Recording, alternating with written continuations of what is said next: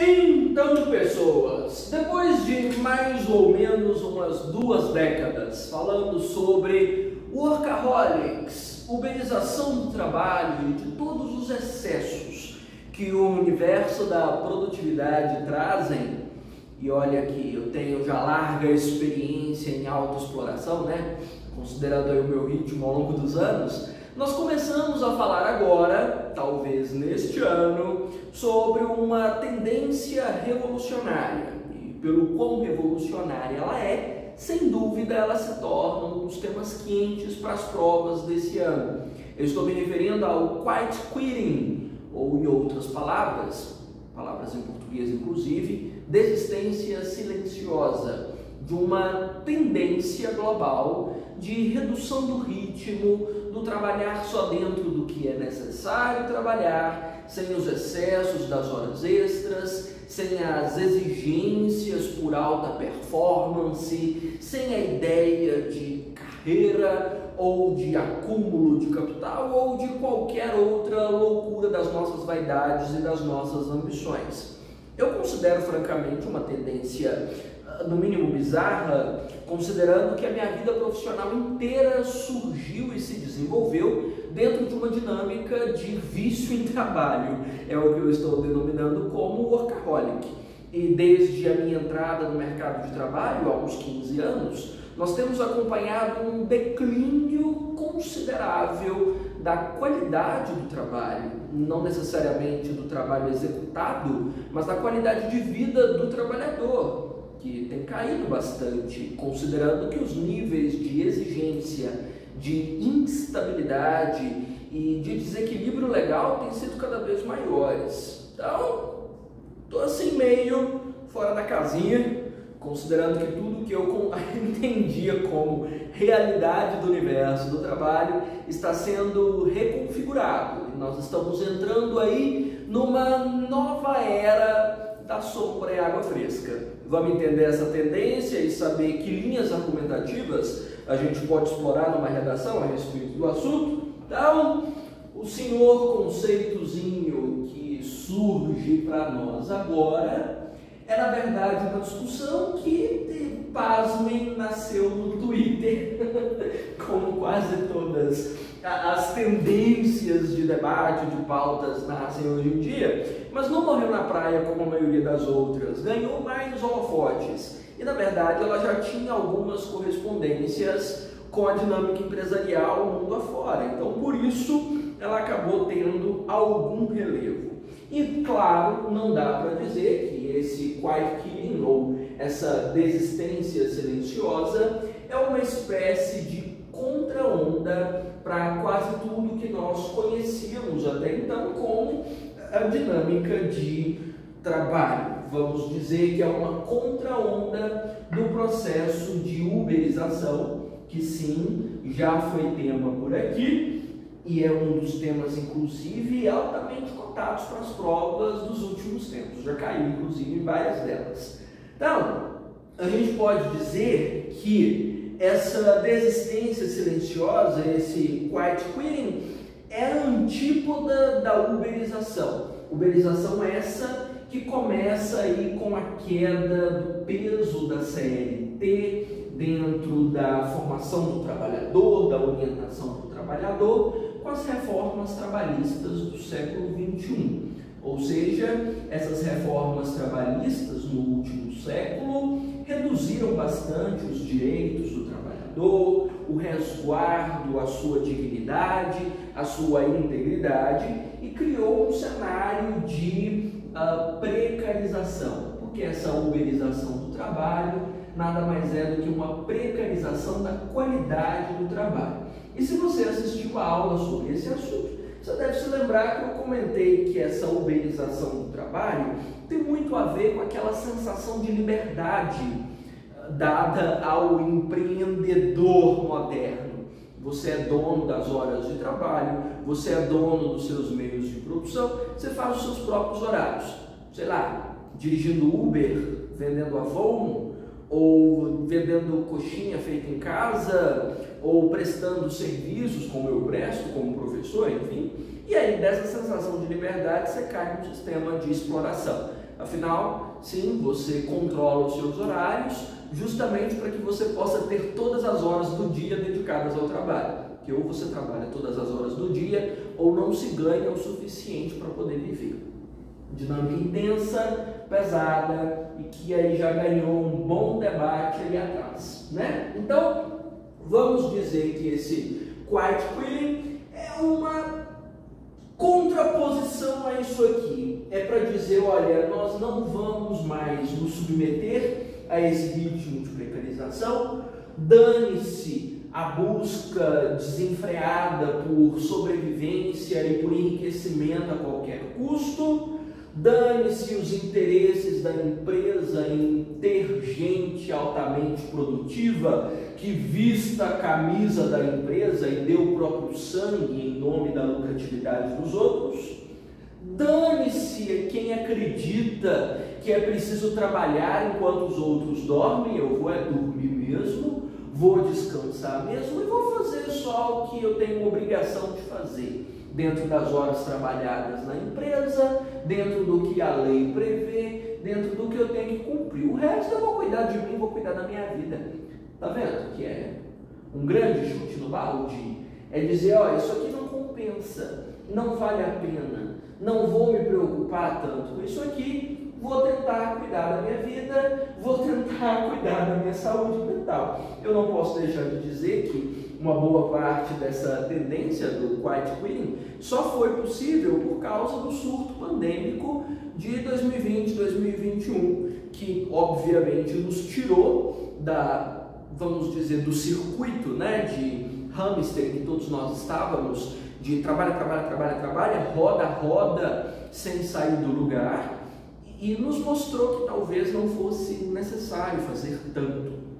Olha, eu digo para você aqui por experiência mesmo, uh, vivida ao longo dos últimos anos. Antes da pandemia, eu trabalhava em três cidades diferentes, administrava a minha empresa, mantinha um circuito de funcionários uh, tendo controle constante de tudo, além de administrar redes sociais, canal e uma quantidade exorbitante de tarefas, de domingo a domingo, com direito a crises de burnout né, quase sempre programadas. Uma vez por semestre, simplesmente meu corpo desligava e eu deixava de funcionar, entrava em colapso. Os colapsos já eram considerados parte da rotina. Uhum. E aí, de repente, com a pandemia, eu tive que parar praticamente tudo, pelo menos o circuito das viagens para três cidades para trabalhar, eu não pude fazer mais, né, por razões óbvias. E aí eu inaugurei uma outra forma de trabalho, um novo ritmo de vida, uma nova gestão do tempo e das obrigações, e entendi que eu precisava fazer muito menos do que eu já fazia para chegar basicamente no mesmo lugar.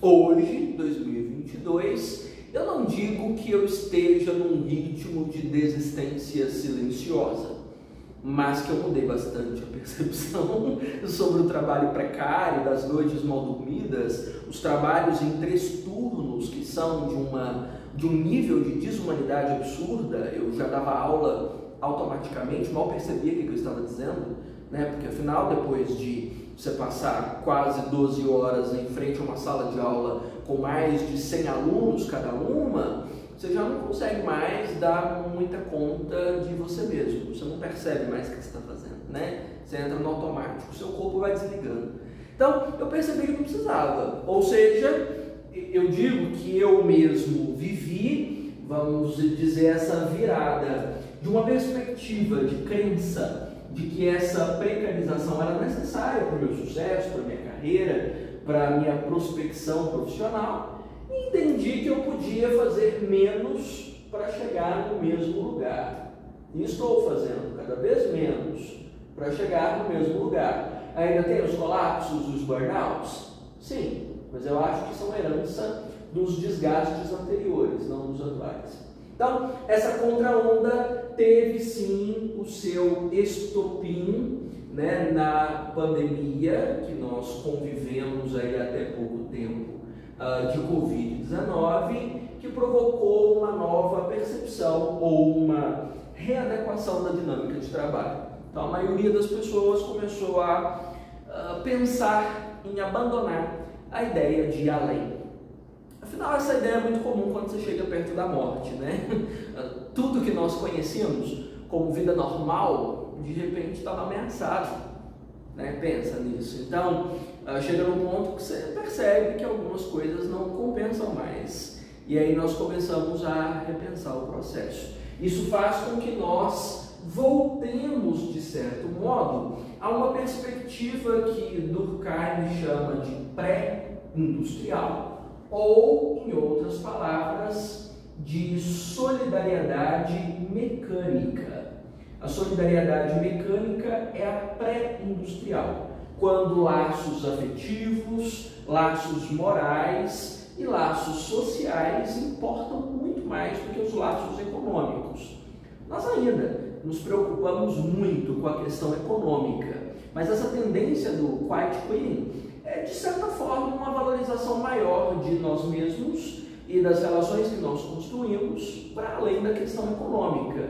Eu posso, sei lá, ser menos uh, aplaudido na minha carreira profissional e ter uma vida social mais prazerosa. É essa visão de uma solidariedade mecânica ou de uma valorização maior desses laços afetivos, morais e sociais e vamos dizer deixando a questão econômica bem para segundo plano. Então, esses aqui são alguns contextos que você pode usar para abrir seu texto sobre quiet quitting, sobre uma contra-onda à uberização do trabalho, que é sinônimo de precarização, começada com as reformas trabalhistas e com a queda da CLT, promulgada lá em 1943. Né? É um estopim provocado pela pandemia, que trouxe uma reorientação sobre o que é a vida, sobre o que é importante, sobre a nossa sobrevivência física e psíquica e, obviamente, um retorno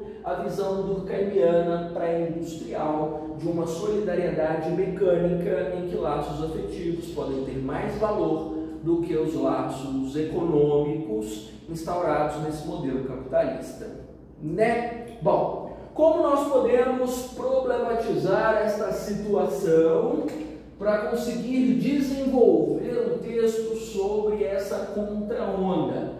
Bom, eu acredito que uma das primeiras teses interessantes que a gente pode colocar aqui em pauta, como uma causa, inclusive, do que nós estamos vivendo, é uma espécie de saturação de tudo que diz respeito a esse modelo capitalista. Então, eu vou colocar aqui uma saturação da ética do trabalho mais capitalismo quase que escreveu a ética do capitalismo.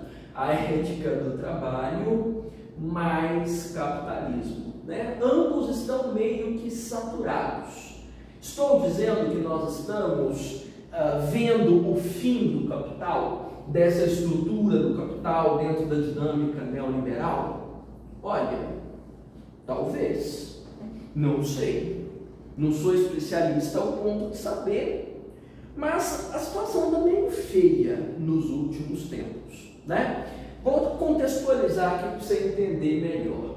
No que diz respeito ao sistema capitalista, obviamente não é um modelo econômico perfeito, é um modelo econômico que sofre inúmeras crises e recessões ao longo do tempo, entra em colapso para depois conseguir se renovar e mais uma vez configurar como modelo econômico vigente. Isso é natural. Essas mortes periódicas para um sucessivo retorno e um melhoramento do modelo econômico.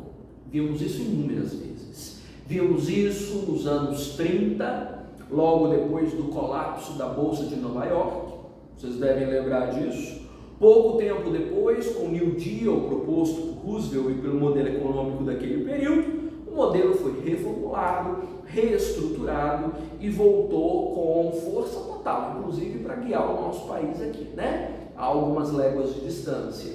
Depois dos anos 80, é mais ou menos nos, nos anos 80, nós vimos uma recessão sem precedentes, horrorosa, envolvendo principalmente a geopolítica do petróleo quando houve mais uma vez uma grande recessão e uma crise econômica sem precedentes. Pouco tempo depois, inclusive no Brasil, nós conseguimos reformular o modelo econômico, trocamos a moeda, trocamos a dinâmica do poder e conseguimos consolidar o modelo mais uma vez. Então, você já entendeu que capitalismo é sinônimo de elasticidade. Esse modelo, vez ou outra, quebra, entra em ruína e depois se recompõe para se tornar uma coisa ainda melhor. No entanto, se você parar para pensar aqui comigo, você deve ter observado que essa elasticidade e essa capacidade de se recompor de forma ainda mais sólida e mais eficaz não está mais acontecendo com a mesma qualidade dos anos anteriores. E olha que os nossos recursos são ainda melhores comparado ao passado. Veja que o modelo econômico quebrou em 2008, mas quebrou feio, quebrou rude. Nós entramos em uma das maiores crises econômicas globais de todos os tempos. E nós estamos neste momento em 2022. E até agora, até agora, nós não nos recompomos, né? Se eu mantiver aí a metáfora do bioma do cerrado, que eu sempre gostei de usar para falar disso, é como se esse cerrado tivesse pegado fogo e até agora as sementes não germinaram. E parece que o incêndio só se alastra e não consegue quem o controle ou quem faça esse incêndio valer a pena. Por que eu estou falando de incêndio? Porque você sabe muito bem que o bioma do cerrado, de tempos em tempos, dependendo da estação, precisa sofrer queimadas para que determinadas sementes possam germinar. Então, periodicamente, esse bioma ah, se destrói e se renova dentro de um ciclo natural. É a mesma elasticidade que nós conhecemos do modelo capitalista, de pegar fogo e se destruir depois se renovar e conseguir germinar novas sementes. Nesse momento, no entanto, nem as sementes germinaram, nem as queimadas foram controladas, nem o modelo foi renovado. Então, o que nós estamos acompanhando pouco a pouco é a perda da elasticidade natural desse modelo. Não sei por qual razão. Não sei se é a falta de governos fortes e capazes para controlar esse processo. Né? Quem fala dessa perda da elasticidade fala que é isso. Quem fala disso é o Slavoj Žižek, que é um dos teóricos de que eu mais gosto ultimamente. Ele comenta que falta um pulso forte. Né? Nós tivemos aí nos anos 30 um Roosevelt, nós tivemos aí no Brasil nos anos 80 um FHC, um Itamar e por aí vai. E agora? Quem? Quem tem mãos competentes? para resolver. Não está tendo, né? Nós estamos afundando. E parece que a crise vem ganhando cada vez novas facetas em termos de ampliação do cenário da fome, em relação à demanda de desemprego, à especialização do mercado de trabalho e a tudo que diz respeito à vida econômica do país. Entende? Então, parece que essa grande crise do próprio modelo, essa saturação ou essa perda da elasticidade do modelo capitalista faz com que os antigos sistemas de trabalho, de dedicação ao trabalho e da gestão de carreira percam sentido. Não faz muito sentido matar-se de trabalhar por um modelo econômico que nem funciona mais e não consegue dar o retorno para aquele que trabalha não consegue de alguma forma uh, devo, trazer uma contrapartida né, que compense tanto esforço.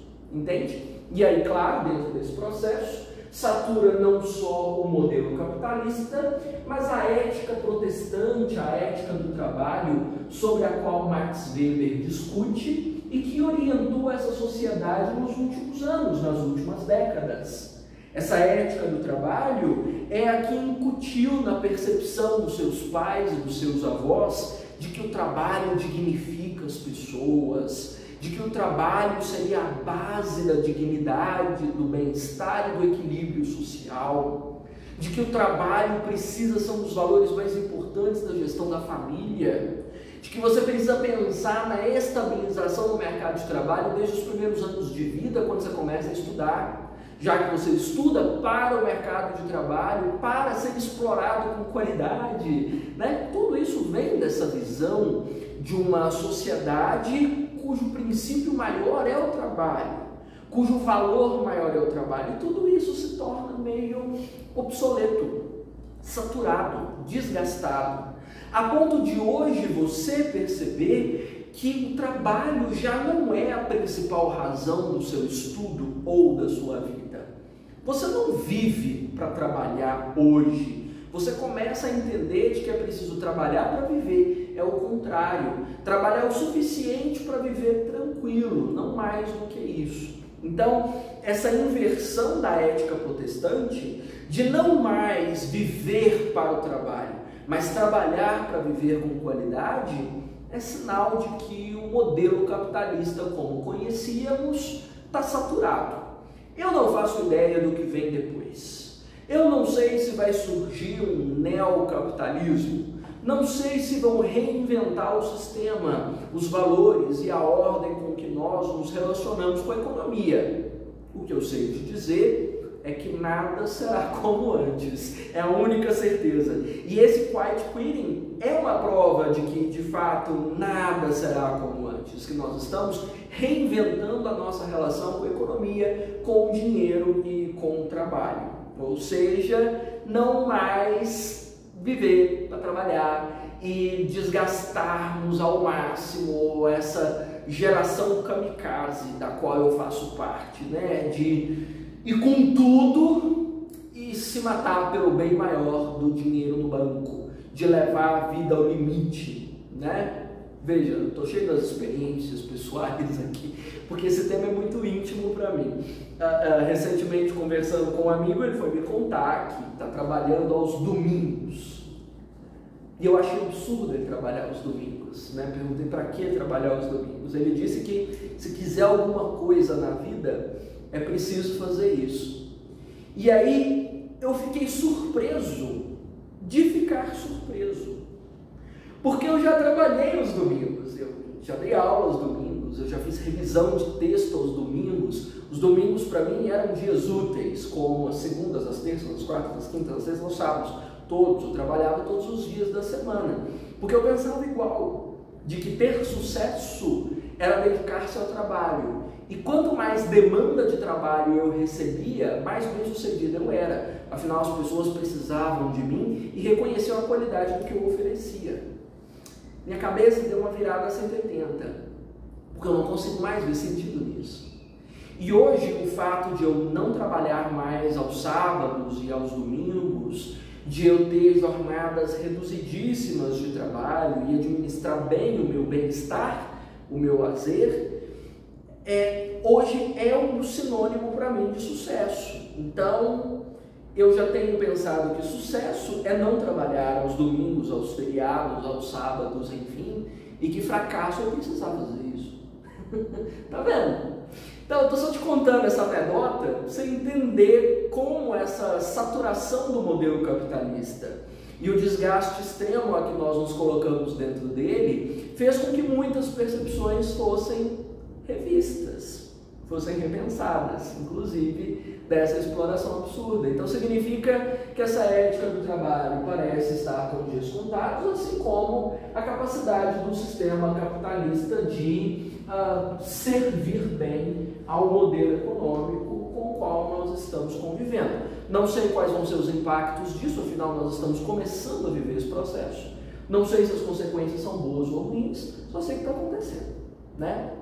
Bom, para além disso, é inevitável dizer que, além da saturação da ética do trabalho, nós estamos acompanhando uma queda do valor da sociedade do alto desempenho, aquela que nós já comentamos por aí, que é amplamente discutida pelo senhor Rambio Jor, não é? Aquele coreano extraordinário de nome complicado que a gente precisa aprender. Então, como eu tinha comentado com você, você vai usar isso na introdução ou no desenvolvimento, a pandemia foi o grande estupim dessa percepção de uma sociedade do alto desempenho, ou sociedade do desempenho, como Rambin Shaw menciona. Né? Shaw, inclusive, menciona esse conceito dentro de uma obra chamada Sociedade do Cansaço. De fato, nós mantivemos uma percepção do cansaço como gratificação, não é? Você ainda vive nessa? Eu às vezes vivo nessa, mas hoje, como eu mencionei, minha cabeça mudou muito. Mas nós viemos dessa percepção, todos nós já experimentamos isso, um cansaço extremo, de aquela sensação de extenuação, de perder as forças, né? de dedicar-se ao máximo, trazer um nível de prazer, o prazer de ter feito, de ter cumprido, de ter dado todas as suas forças para cumprir um objetivo, né? O que talvez tenha mudado com a pandemia é que nós podemos perceber para além da roda de hamster, né? Nós conseguimos nos observar dentro de um processo de esgotamento perceber que esse esgotamento não faz necessariamente a roda girar para frente, ou para os lados, ou para trás. Na verdade, essa roda gira sobre nós e nos esmaga, não necessariamente para nos levar a algum lugar. Na maioria dos casos, na dinâmica do trabalho, nós giramos essa roda para os outros, não é assim? Nós giramos essa roda para patrões, para corporações, para alunos, como no meu caso, mas não necessariamente com o retorno certo, não necessariamente com a possibilidade de maior sucesso ou de colher um, né, uma recompensa depois. Então, essa dinâmica do cansaço é toda apoiada em uma perspectiva behaviorista. É um cansaço behaviorista. Não sei se você já estudou alguma coisa de psicologia na sua vida, mas behaviorismo tem a ver com estímulo-resposta. É o que você foi uh, uh, treinado, domesticado, adestrado a vida inteira. Adestrado era a palavra que eu queria.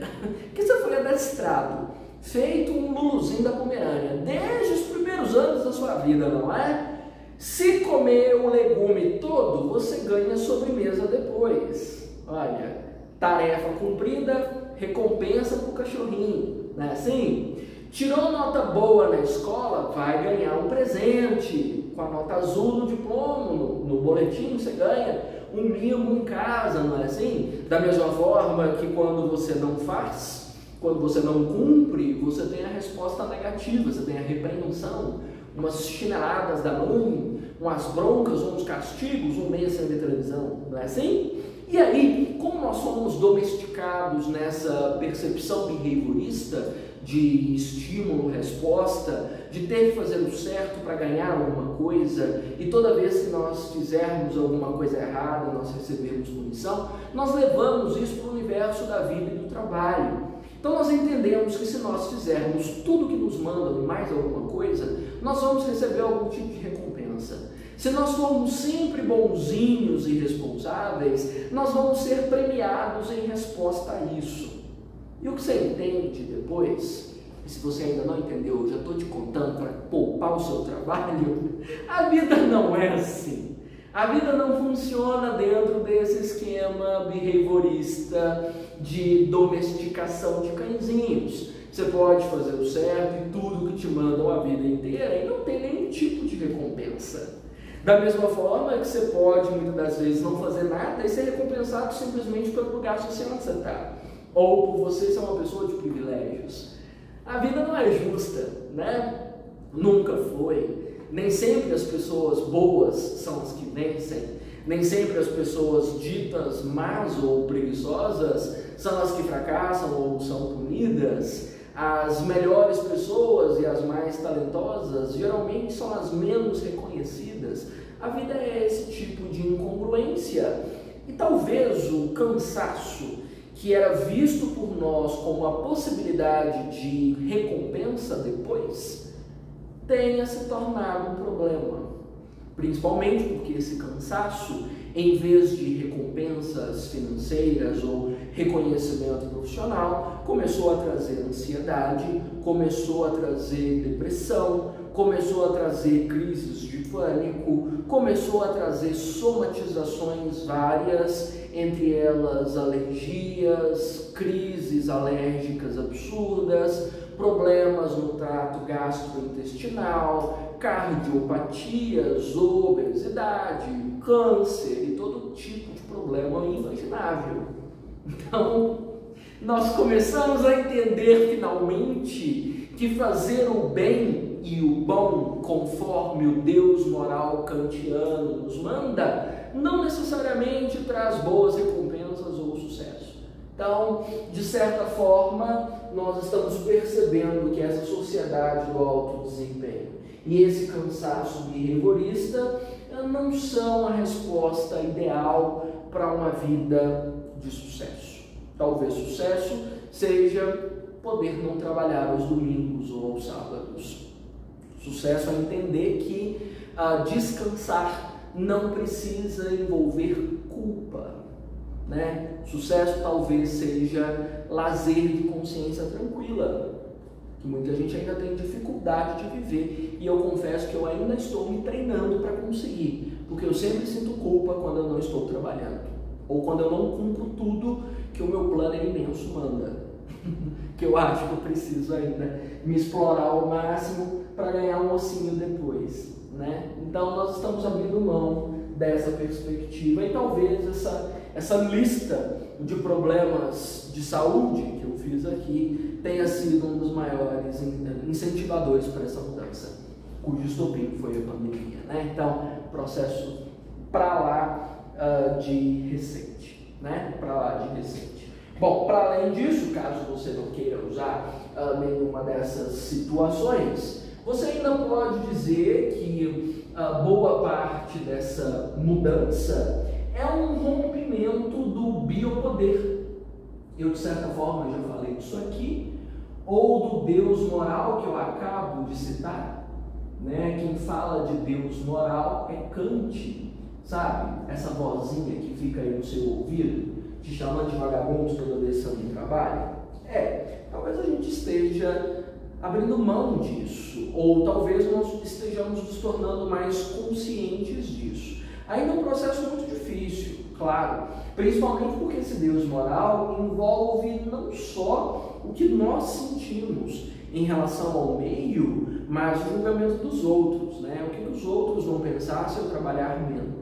O que os outros vão pensar se eu me conformar com um trabalho mais simples, com menos horas trabalhadas, com uma carreira que não seja necessariamente o que os outros esperam de mim?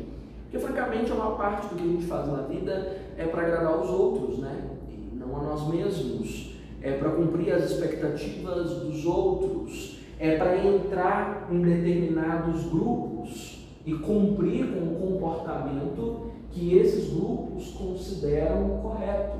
É o que Pierre Bourdieu chama de hábitos. Então, nós estamos dentro dessa tendência do quiet quitting, tentando quebrar essa dinâmica de biopoder, tentando quebrar essa vozinha, ou tentando pelo menos fazer frente a ela, rompendo com hábitos. Eu creio que seja uma luta extremamente complicada, a maioria de nós não vai conseguir vencê-la, mas é uma tentativa válida, não é? De mudança de perspectiva. Então, você pode escolher como tópico ó, qualquer uma dessas direções e você tem a mesma argumentação. Ou alto desempenho, do Ramil Shaw, ou biopoder, que é do Michel Foucault, né? Pessoa esquecendo de colocar o nome da criatura aqui, que não coube no lugar onde pus, né? Michel Foucault ou a quebra do Deus moral kantiano, ou a quebra do hábitos de Bourdieu. Todas elas correspondem a essa visão de um cansaço que não compensa pelo nível de adoecimento que ele traz. Certo? E por fim, como a última tese possível dentro dessa discussão, você provavelmente já está pensando nisso, mas uh, eu ainda não cheguei a dizer, né? É que toda essa argumentação todo essa, esse debate não é para todo mundo. é ruim dizer isso, é desconfortável dizer isso, mas esse debate é elitista. Talvez esse seja um dos maiores entraves para a evolução desse debate. Quem é que pode realmente desistir silenciosamente? Quem tem condições financeiras para fazer isso? Né? Porque, claro, para muitas famílias cuja renda é limitada, né, com salários baixos, com pagamento de aluguéis, e principalmente dentro de um ritmo de inflação absurdo que essas crises econômicas trouxeram, desistir do ritmo de trabalho não é uma opção, é? Já pensou nisso? Quando eu menciono aqui para você que a, a pandemia foi para mim, no caso, um estupim para eu mudar perspectivas e alterar o ritmo de trabalho, é porque eu já vinha de uma estrada de mais de uma década forjando uma carreira, me estabelecendo no mercado, a ponto de eu ter poder suficiente e poder traduza-se como poder aquisitivo para conseguir virar a minha vida sem afetar o conforto ou a minha sobrevivência. Então, o debate é incrível. Poder trabalhar menos é fantástico. Dedicar-se mais às relações sociais, afetivas, morais é extraordinário. No entanto, não é para todo mundo. Então, própria, o próprio surgimento desse debate sobre white queering denuncia os imensos abismos sociais de que esse Brasil é feito e as inúmeras realidades que compõem essa realidade. Porque é inevitável que nós sejamos um país de múltiplos Brasis, como diria saudoso Darcy Ribeiro. Nós não temos um país só. Enquanto eu estou aqui discutindo com você a possibilidade de trabalhar menos, inúmeras famílias brasileiras não sabem como fazer mais de uma refeição ao dia. Enquanto eu discuto com você a possibilidade de não trabalhar aos domingos, milhares e milhares de brasileiros não conseguem um salário mínimo para compor a renda familiar. Enquanto eu discuto com você a possibilidade de só fazer o básico para manter qualidade de vida, inúmeros brasileiros não conseguem mais do que uma refeição completa. Né? Estão trocando o almoço por lanches para evitar os gastos com os itens básicos da cesta básica. E haja básico aqui, né? Porque não dá para comprar. Então, é, é, chega a ser vergonhoso, meio vexatório, discutir sobre white queen num Brasil que passa fome, né? num Brasil que aprofunda o cenário de fome. Então, nós estamos diante de um debate que é raso demais, embora pareça valioso, mas é raso demais dentro do cenário aterrador pelo qual o Brasil passa. Né? Essas vergonhas, na verdade, nós temos passado já um bom tempo. E vez ou outra eu né, esfrego na cara dos outros aqui sobre a formação delas. Veja, nós estávamos discutindo arduamente até pouco tempo sobre a validade ou não da telemedicina, né, do atendimento remoto aos pacientes, sem que eles precisem estar presentes nas unidades de saúde. Enquanto isso, muitas cidades, inúmeras cidades brasileiras, não têm sequer um postinho de saúde com um profissional de saúde que seja um técnico de enfermagem. Né?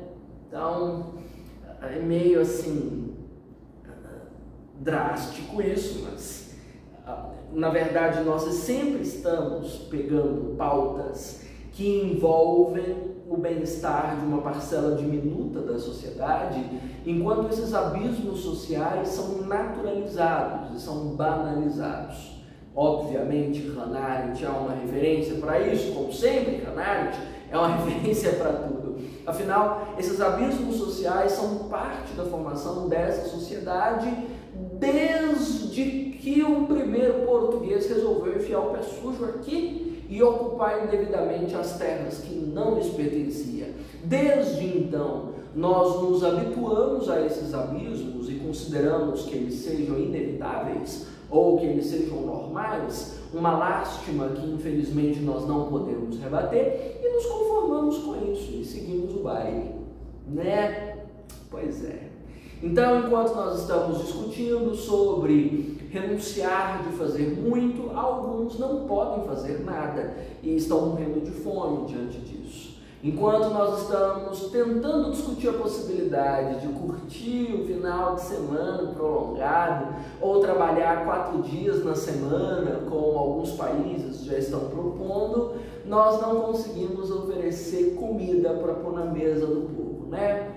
Então, nós somos o Brasil dos paradoxos, uh, das incoerências. Afinal, inúmeros brasileiros não dispõem de ferramentas suficientes para sobreviver, como diria senhor Chico de Oliveira. Países periféricos carecem quase sempre das ferramentas fundamentais para manter a vida, para conseguir uh, manter-se com dignidade. Né? Então, não sei para onde levamos esse debate, o que, que você acha? Precisamos levar um debate intenso para o Congresso sobre o peso das reformas trabalhistas sobre o cidadão, para talvez conseguir lançar uma proposta de white paper coerente com as demandas sociais brasileiras? Eu acho. Estamos aí próximos de um novo governo nesse país e talvez uma das primeiras medidas para esse novo governo seja rever a reforma trabalhista que ferrou a qualidade de vida e com a possibilidade de pouquinho de cidadania e dignidade para o trabalhador brasileiro. Né? Então nós precisamos resolver essa situação antes de entender se o white quitting vai ser bom ou ruim, para que as pessoas, inclusive, possam ter escolha de continuarem sendo workaholics, feito eu, ou de elas conseguirem administrar o seu tempo com mais inteligência, com mais qualidade com mais criticidade. O que acha disso?